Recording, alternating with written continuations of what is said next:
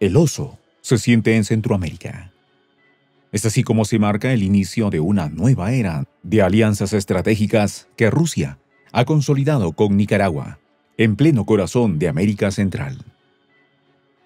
Lo que antes parecía improbable, hoy es una realidad que ha fortalecido no solo los vínculos diplomáticos entre Nicaragua y Moscú, sino también la estructura de seguridad de la nación nicaragüense. ¿Qué hay detrás de este hecho? Los detalles a continuación.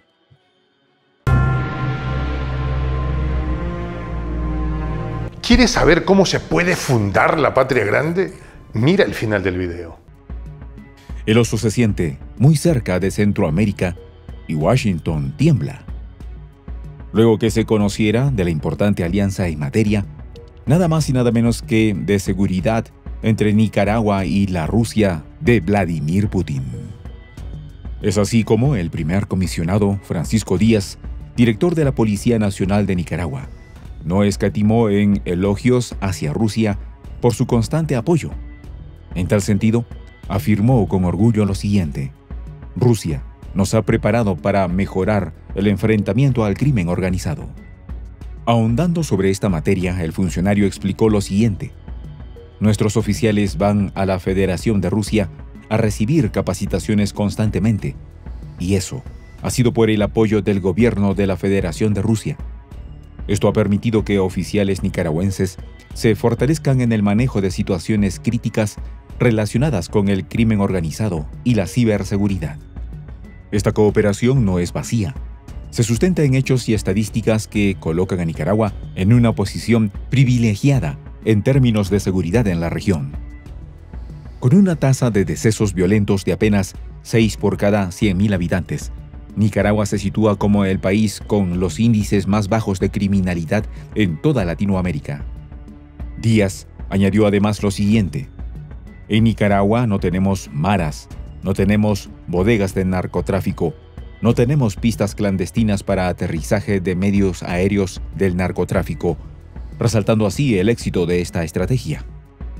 Esta cooperación resulta fundamental para elevar el nivel de preparación de los efectivos nicaragüenses en áreas tan delicadas como el tráfico de sustancias ilícitas, el lavado de activos y la ciberseguridad, elementos claves en la lucha contra el crimen organizado. Para poner esto en perspectiva, países de la región lidian con tasas mucho más elevadas, lo que resalta el éxito de las políticas de seguridad nicaragüenses, en las cuales Rusia ha jugado un papel esencial.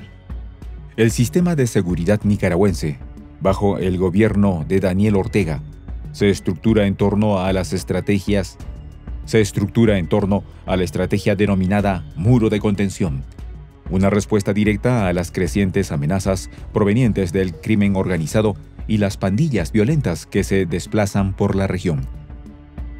Este muro no es una barrera física, sino un conjunto de acciones coordinadas entre la Policía Nacional y el Ejército de Nicaragua, que buscan prevenir la incursión de organizaciones criminales en el país. Esta cooperación con el gigante euroasiático se ha fortalecido en un contexto donde se hace necesario redoblar esfuerzos ante los intentos de incursión de miembros de la Mara Salvatrucha que huyen de la exitosa política de seguridad en El Salvador. Pero las cosas tampoco les resultarán fáciles en tierras nicaragüenses. Sobre esto también se pronunció Díaz, detallando en la entrevista que hasta la fecha se habían detectado aproximadamente 13 mareros que habían entrado ilegalmente al país. Sin embargo, a través del trabajo de los funcionarios, fueron capturados y ya fueron entregados a las autoridades salvadoreñas. Este sistema de inteligencia parte del modelo comunitario de la policía, ha sido una de las principales fortalezas del país desde la fundación de la policía sandinista en 1979. El modelo se caracteriza por su vinculación directa con las comunidades, lo que permite una mayor cooperación entre la policía y los ciudadanos. La cooperación entre ambos países en materia de seguridad ha generado un impacto profundo en las capacidades del país para enfrentar el crimen organizado la delincuencia transnacional y el complejo fenómeno de las pandillas que azota a la región.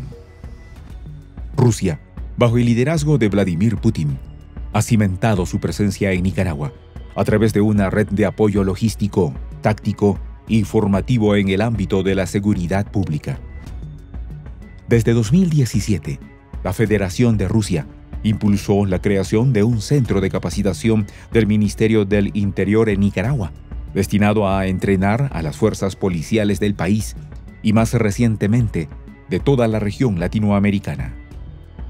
El acuerdo firmado entre Managua y Moscú en octubre de 2017, que formalizó la creación del Centro de Capacitación Policial, fue solo el primer paso en una relación de seguridad que ha seguido expandiéndose a pesar de los disgustos de Washington. En marzo de 2024, este acuerdo se extendió para incluir nuevas áreas de colaboración, como el intercambio de técnicas y experiencias en la lucha contra las amenazas al orden público. Este intercambio ha sido clave para el fortalecimiento de las capacidades de las fuerzas de seguridad nicaragüenses, en un contexto donde la globalización del crimen exige nuevas habilidades y tecnologías. Uno de los momentos más difíciles para el gobierno de Daniel Ortega fue el fallido intento de golpe de Estado en 2018, un episodio que dejó cicatrices profundas en la sociedad nicaragüense. Durante ese periodo, 22 agentes de policía fueron asesinados y decenas de unidades policiales fueron destruidas por los manifestantes. Durante su entrevista, Díaz también rememoró estos hechos y exclamó lo siguiente. Nos destruyeron infraestructura económica y sembraron el terror, aludiendo a la violencia que azotó al país en esos meses. Sin embargo, gracias al apoyo de sus aliados internacionales y a la resiliencia de las instituciones nicaragüenses, el gobierno logró sofocar el intento de golpe, así como restaurar la paz. El papel de Rusia en este proceso no puede subestimarse. Desde el inicio de su relación, el apoyo ruso ha sido fundamental para la modernización y profesionalización de las fuerzas de seguridad nicaragüenses. La formación en áreas como la lucha contra el tráfico de sustancias y manejo de delitos informáticos ha dotado a Nicaragua de las herramientas necesarias para enfrentar las nuevas amenazas que surgen en un mundo cada vez más interconectado.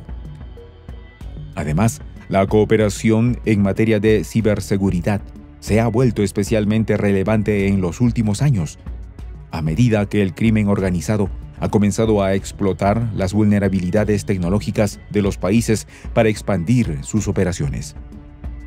Por todo esto, no es descabellado cuando sostenemos que Putin blinda la seguridad de Nicaragua.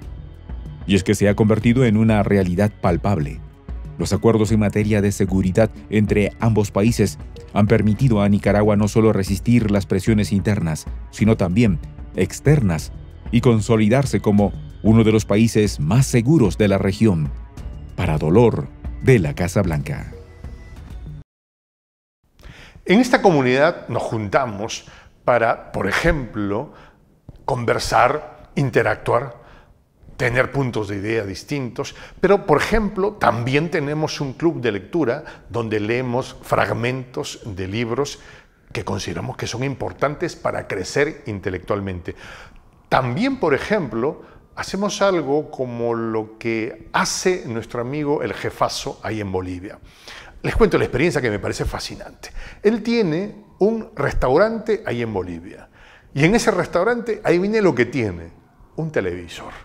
Y ustedes dirán, pero qué impresionante, ¿en qué contribuye que un restaurante tenga un televisor ahí en Bolivia? Una cosa muy importante, porque él, cada vez que abre su negocio, prende su televisor y pone los videos de prensa alternativa. Con eso, todos los días, poco a poco, con pasos muy concretos, él hace que toda la gente que vaya a su restaurante vaya insumiendo el concepto de la patria grande. Y así, pasito a pasito, estamos construyendo la patria grande. Son esos pasos pequeños pero concretos que hacen posible que el proceso de la construcción de la patria grande sea algo que ya comenzó, un hecho dinámico que no tiene retorno en la historia. Y de verdad a nosotros nos gustaría que tú seas parte de esa propuesta. ¿Qué tienes que hacer? Muy simple, dale clic en el botón unirse. De hecho, al hacerlo también contribuirás con una pequeña cantidad de dinero que permitirá que Prensa Alternativa produzca más y mejores videos. De verdad que te esperamos. La patria grande se va a construir cuando tú y yo y toda la gente de buena voluntad de América Latina y el Caribe comencemos a ser comunidad. ¿Cómo lo logramos? Interconectándonos todas las personas de buena voluntad que vivimos en América Latina y el Caribe. Y tienes una oportunidad de hacerlo, uniéndote a nuestra comunidad. Puedes hacerlo haciendo clic en el botón unirse que está en la parte de abajo. Soy el J, Juan José del Castillo, director del canal Prensa Alternativa. Si quieres ser parte de la comunidad de la Patria Grande, suscríbete a nuestro canal. Si es que quieres que te lleguen las notificaciones cada vez que subimos un video, activa la campanita. Si quieres apoyar a nuestro canal económicamente, puedes hacerlo a través de PayPal. El enlace está en la descripción del video. A nombre del equipo de prensa alternativa, me despido con esta expresión en el quechua milenario, Tupananchis cuya traducción es hasta volvernos a encontrar.